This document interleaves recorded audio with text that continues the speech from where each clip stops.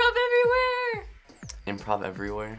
Welcome everybody to the 12th annual No Pants Subway Ride. I want to participate. What? Stripping on the subway. Who wears short shorts? That's like a flash mob, but naked. I hate wearing pants. That would make me feel so uncomfortable. Even little kids are doing it. Where are their mothers? That guy looks really confused. Depending on who it is, I wouldn't mind.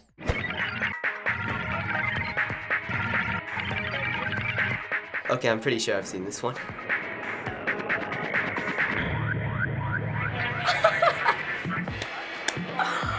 Oh my god, that's genius. Wow, it's so cool. It looks just like from a movie. Stood like, like frozen. He's so good. I would be like, what the f is going on? Can't my car. There's, there's, a hun- there's hundreds of people frozen everywhere.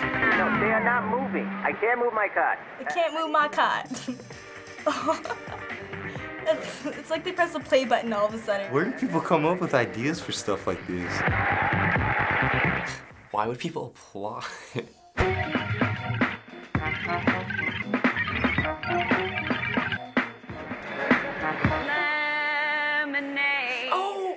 this one. Built across the countertop.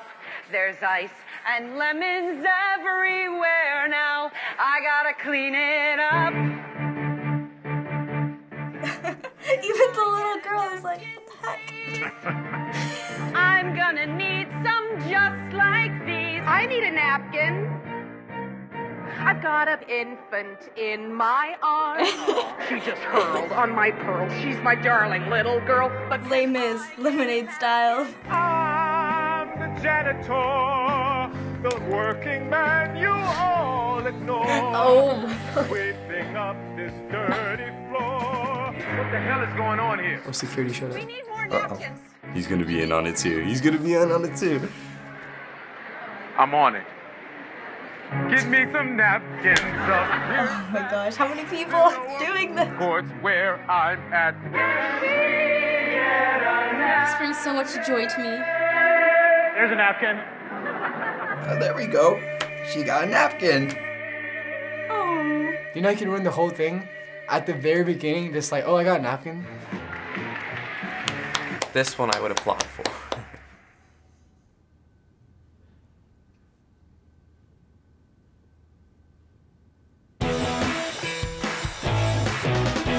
So what was happening in those videos? They're like, they're flash mobs. They're kind of like flash mobs. Pranking the public. They had a bunch of people doing the same exact thing in a public area. I believe it's called Improv Everywhere. So let's dive into each one of them. The musical one there. What was going on? They were singing about a napkin, like needing a napkin. I don't even know. Their mission was to create a musical out of nowhere, and it was a musical about needing napkins. And at first everyone was like, what? Like, why is she singing right now? And the thing that I love so much about it, each time someone joins into it, it's someone that you would least expect. She gets a napkin in the end.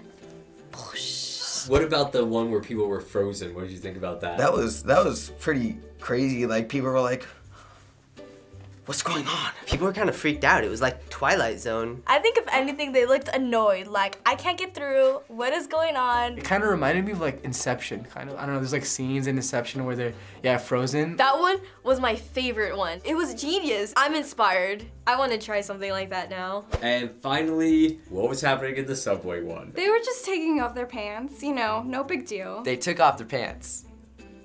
They took off their pants. The no pants subway ride. I love it so much. That one was just plain stupid. Okay, those people were in like tiny underwear that went up their butt crack. I'm like, no, nah, guys. What would you have done if you were on one of these subway trains and saw a bunch of people with their pants off? Uh, at first, I'd kind of be like, what?